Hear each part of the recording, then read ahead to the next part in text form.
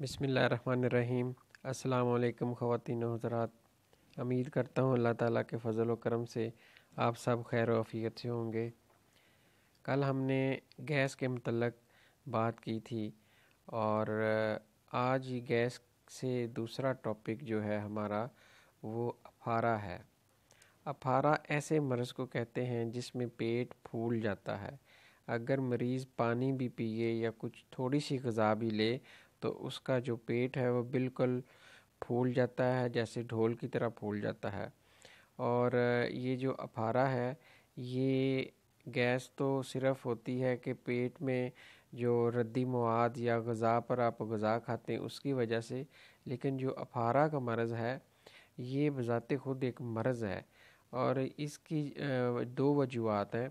एक सबसे पहली वजह ये है कि जिसको अफारा होता है कि वो ये जान ले कि अफारा जो है, जिससे पेट फूल जाता है और और ये जो अफारा है, ये मीदे के जो अज़लात हैं यानी मैदा आपका जो निज़ाम इनहज़ाम है, मैदे का हज़म करने का निज़ाम है, जो इंजाइम पैदा होते हैं मैदे के अंदर और आंतों में, वो इंजाइम पहले तो वो कम पैदा होते हैं।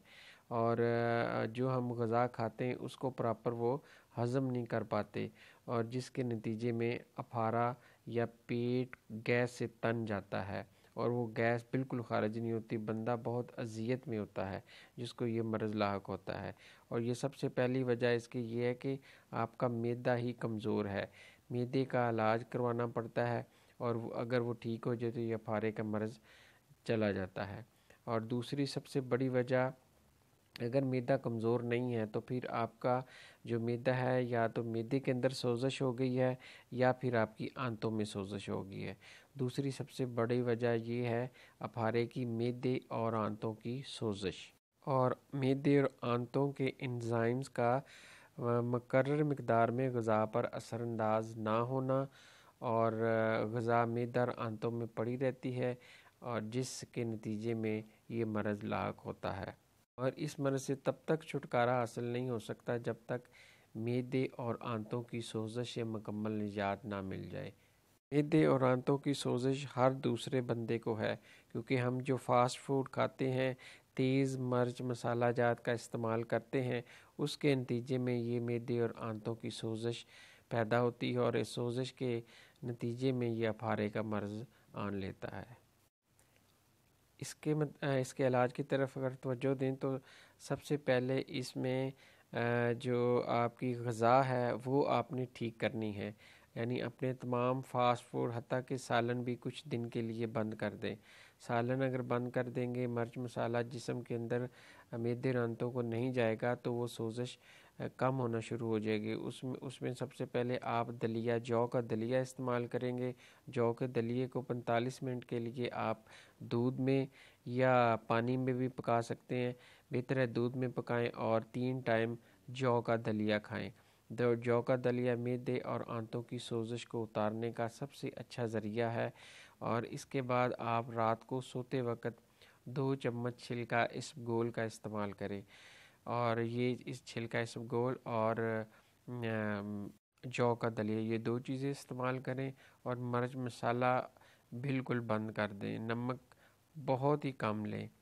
और ये इसके अलावा आप जो मलट्ठी है, मलट्ठी का इस्तेमाल करें। मलट्ठी का आप कहवा भी दिन में दो से तीन दफ़ा ले सकते हैं और इसके अलावा मलट्ठी का सफ़ूफ जो आम पान वाली दुकानों के पास, पान की जो दुकानें हैं, उनके पास भी मलट्ठी का सफ़ूफ बना बनाया मिल जाता है। वो पानों, पान के अंदर शामिल करते हैं। आप ख़ुद मलट्ठी ख़रीद के उसको सफ़ूफ कर लें। लेकिन मलट्ठी के लिए ज़रूरी है कि मलट्ठी का जो ऊपर छिलका होता है, वो उतार लें। उसको छुरी से उतार के फिर कूट लें, कूट के उसको पाउडर बना लें। जो जो पाउडर है, ये आप तकरीबन ये चाय वाली चम्मच का तीसरा हिस्सा दिन में तीन दफ़ा ले सकते हैं। ये तमाम जो मैंने आपको चीज़ें बताई, इस, ये इस्तेमाल करने से और परहेज़ करने से आपका जो मैदे और आंतों की सोजश का मसला है, वो 50 परसेंट हल हो जाएगा। क्योंकि ये और आंतों का जो मर्ज़ है, ये शदीद किस्म का मर्ज़ है, आम नहीं है। इन टिप्स से आप उससे रिलीफ़ हासिल कर सकते हैं। जबकि मुकम्मल ठीक नहीं हो सकते। मुकम्मल ठीक होने के लिए आपको किसी माहर माहर मॉलेज से रजू करना पड़ेगा। हाँ अगर आप दवाई नहीं खाना चाहते तो फिर आपको ये मुकम्मल परहेज़ और जो मैंने बताया, इस पर अमल करेंगे तो कुछ वक्त लगेगा और आस्ता आस्ता अगर आप सालन वगैरह बंद रखते हैं, मिर्च मसाले, फ़ास्ट फ़ूड बिल्कुल बंद कर देते हैं तो फिर इसी से आपका मसला हल हो सकता है, लेकिन उसमें टाइम लगेगा। तो ये आपको मैदे और आंतों की सोजश से निजात मिल जाएगी। जैसे मैदा और आंतों की सोजश उतरेगी, अफारे का मर्ज़ जो पेट तन जाता है, गैस से वो बिल्कुल ठीक हो जाएगा। ये थी जी इन्फॉर्मेशन अफारा, पेट की जो अंतों और मैदे की सोजश है, उसके मतलब आपके कीमती वक्त का शुक्रिया। इन ताला मिलते हैं किसी नेक्स्ट वीडियो में। दुआओं में याद रखिएगा। अस्सलाम वालेकुम वरहमतुल्लाहि